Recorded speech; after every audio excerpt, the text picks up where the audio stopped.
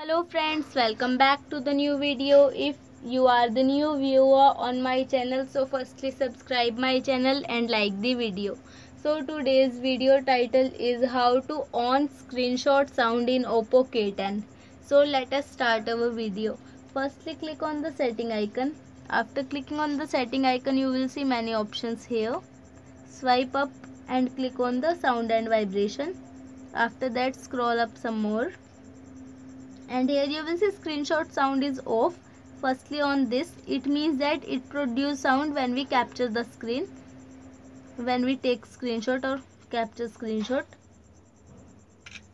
Here you will see it will produce a sound when we take screenshot or capture screenshot in your mobile phone. So i hope this video helps you to on screenshot sound in your mobile phone.